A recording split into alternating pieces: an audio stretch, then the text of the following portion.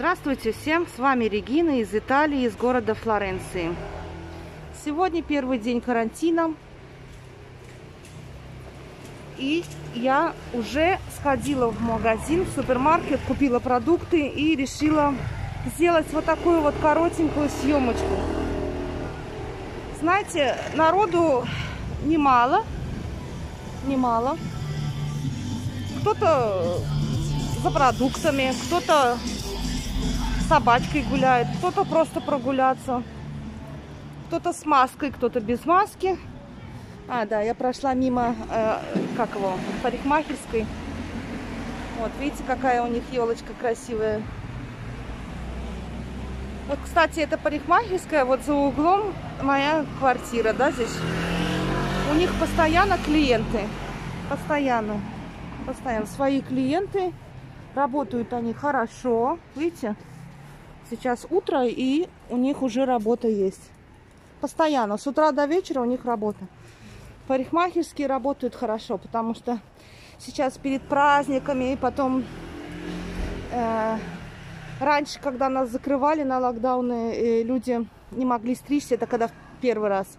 А сейчас уже, уже во второй локдаун и в третий локдаун разрешение есть, да, работать этим парикмахерским. Но все равно сейчас перед праздниками все женщины приводят себя в порядок, стригутся, красят волосы. Но там есть еще и маникюр и педикюр делают. Поэтому сейчас парикмахерские и эстетисты работают очень-очень хорошо. Я сделала, значит, в супермаркете Спейзу. Купила продукты. Была небольшая очередь, я ее простояла. Ну, небольшая, так, человек 10 до меня. Вот. Магазины, супермаркеты открыты, маленькие, частные и большие. Э, парикмахерские работают. Я уже и в парке тоже погуляла, вон там для собачек. Пообщалась там а, с другими соседками, которые гуляют тоже собачками. Я сейчас у некоторых спрашиваю, как вы думаете про, по, по поводу э, того, что хотят нам делать прививочки.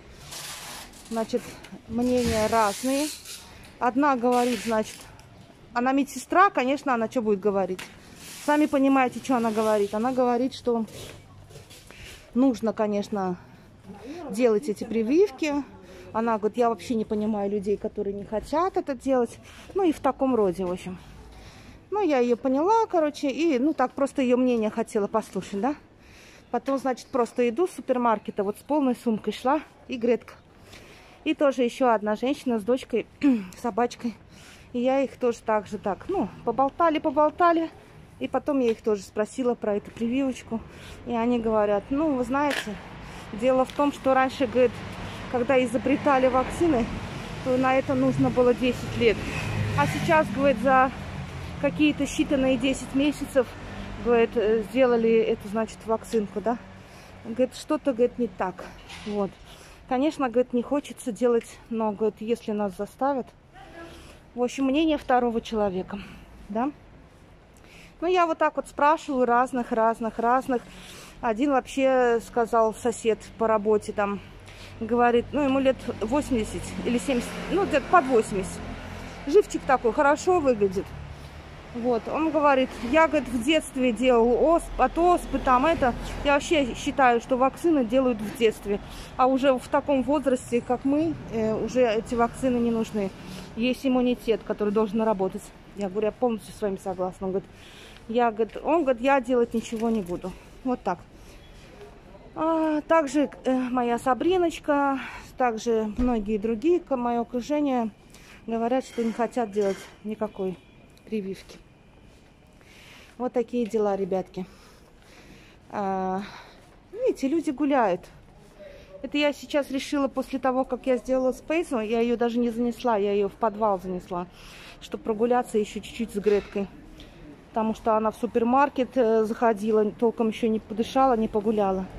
Поэтому думаю, дайте-ка я сделаю короткое такое видео.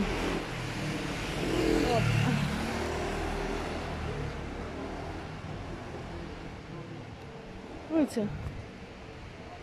Просто гуляют, видите? Ну, я не знаю, куда они направляются и откуда. Но людей немало, немало. В общем, в ту сторону идет э, Пьяца Санта-Крочи. Вот. Пьяца Санта-Крочи я могу пойти. В принципе, вот так кружок сделать и пойти домой. Планы на сегодня. Значит, я сегодня хочу, как и вчера, заниматься моими э, украшениями. То есть я хочу сделать немножко украшений малобюджетных и поставить на eBay. Вот. Потому что у меня сейчас все выставлено на eBay, и мне нечего больше выставлять. Поэтому, а продукции, фурнитуры у меня много, поэтому и камней тоже натуральных у меня много. Что они будут просто так лежать? Я буду чуть-чуть, по чуть-чуть делать украшения. Почему малобюджетные? Потому что э, дорогие слишком, да, э, на eBay не, не очень хорошо идут. На eBay идет что-то красивое, глаза бросающее и недорого. Вот. Есть и винтажные вещи на eBay, сами понимаете. И не винтажные тоже есть вещи, украшения. Тоже продаются очень хорошо. Я хочу попробовать, в принципе. Так что сегодня я буду занята этим. Хочу еще сегодня сделать вам ролик э, с украшениями, которые я сделала. Просто дело в том, что у меня очень много видео, я вам говорила, которые еще надо редактировать. Ну, все это зависит от моего супруга, когда он мне это сделает. А пока он мне это не делает, я как бы сама делаю видосики вот такие от телефона и показываю. Сегодня, если я сделаю вам, я обязательно вам покажу какую-то часть сделанных украшений. Вот такие дела. Что еще? Видите, здесь в центре практически палацы вот такие все старые постройки.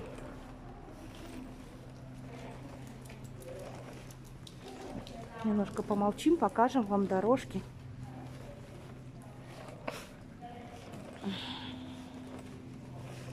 Настроения нет, у меня не праздничное. Но мы же не католики. Мы не отмечаем Натали. У нас нет этого праздника.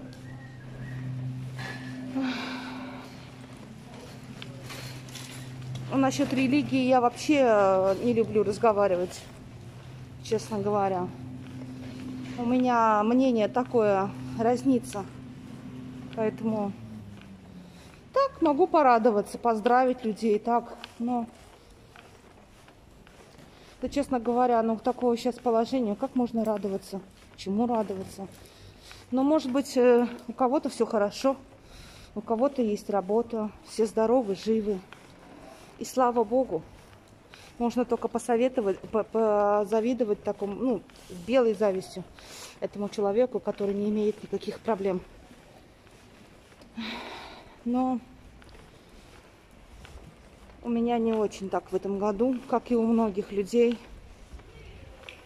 Поэтому вот я, видите, на пьяце Санта-Кроче. В принципе, я уже вам показывала и эту пьяцу Санта-Кроче, но вечером, я помню, было темно. А ночью зрелище совсем другое. Вид зданий видно днем лучше. Смотрите, это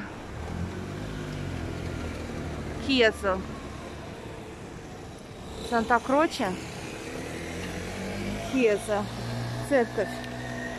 Очень красивая. Это статуя Данте. Я вам показывала, но было темно. Видите? Какой он красивый. Вот такие вот здесь вот постройки. Исторические, очень красивые. Обычно вот на таких пьяцах полицейские должны быть. Видели? Э, машины должны стоять. Чтоб не было сборищ, чтоб все такое. Но сейчас нету никого. Видите, красиво как.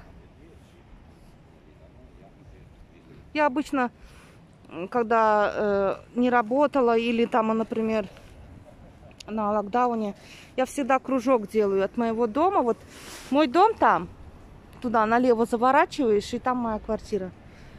А здесь, вот я рядом живу прям. А если я в ту сторону пойду, то я уже выйду на Пьяза Синерия и уже к, это, к моей работе. Так что, а я гуляю с собачкой вот отсюда, и там налево, и там круг, там спокойно. Там выходишь на вот этот вот мостик, речка, прелесть такая, спокойно. Я обычно там гуляю.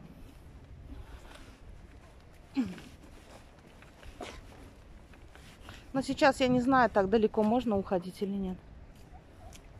Chiedo, se mai. Секунду.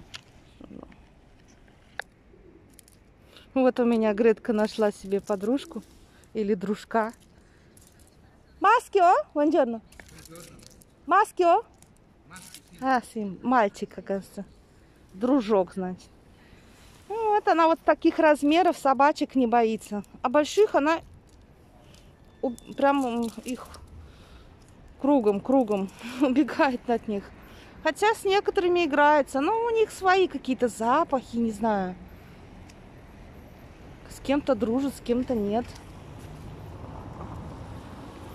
Так, смотрите, какая она у меня прикольная.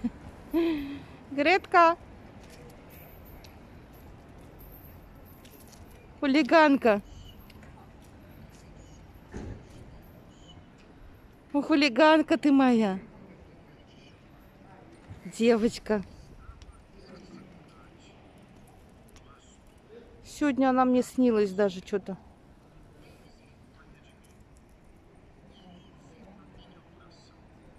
Снилась. А? Наверное, всегда думаю о ней, переживаю за нее.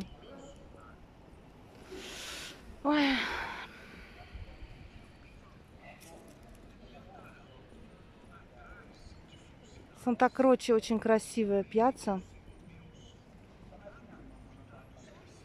Вон там магазины есть. И в одном из них я два дня проработала и все. Потому что мне не понравилось, что они мне контракт сделали там на три месяца.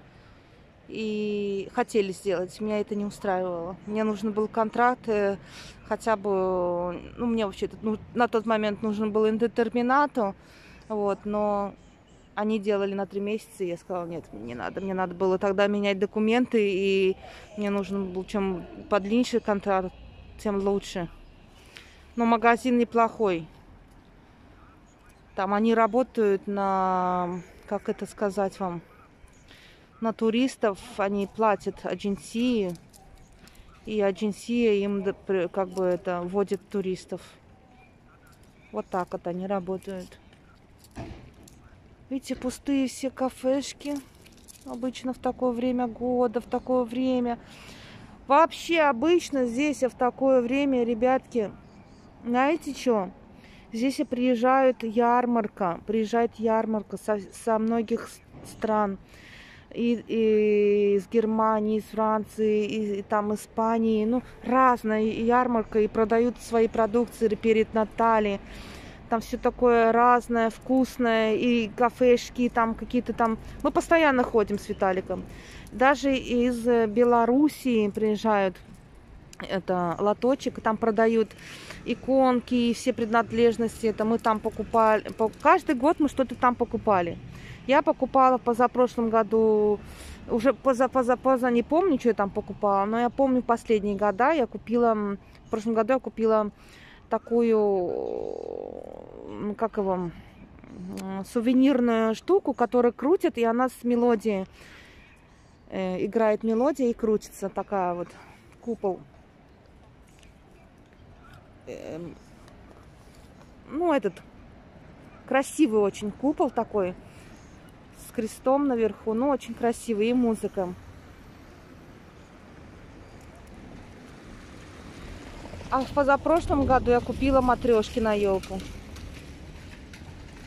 Вот. А еще мы любим германские булочки с сосисками. Очень вкусные, с капустой. Здесь продают. А еще я покупаю здесь яблоки с петушком облитые. которые мне напоминают детство. Конечно, они не такие, как э, раньше у нас в Советский Союз делали, но тем не менее они что-то близко к этому, и мне нравится, иногда я покупаю. А еще здесь продаются такие э, э бублики э, свежевыпеченные, прям здесь их испекают. Здесь очередь за ними. Вот, такие как рогалики, они такие красивые, в виде сердца, что ли. Вот, прям хрустящие, вкусные. И сегодня, естественно, в этом году, не, в этом году, не сегодня, а в этом году этой ярмарки нет здесь, к сожалению. Вообще, вот прям нас загнали всех, как этих скотов.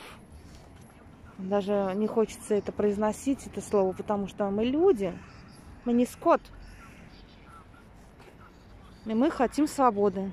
Дай бог, чтобы на следующий год, чтобы этого всего не было. Хотя мало верится, ребятки. Я оптимист, не пессимист, но что-то у меня какое-то прям волнение внутри моего сердца.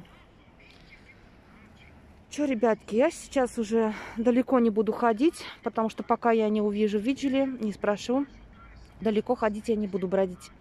Потому что если поставить мне мульту, мне нечем платить. Вот так, ребятки.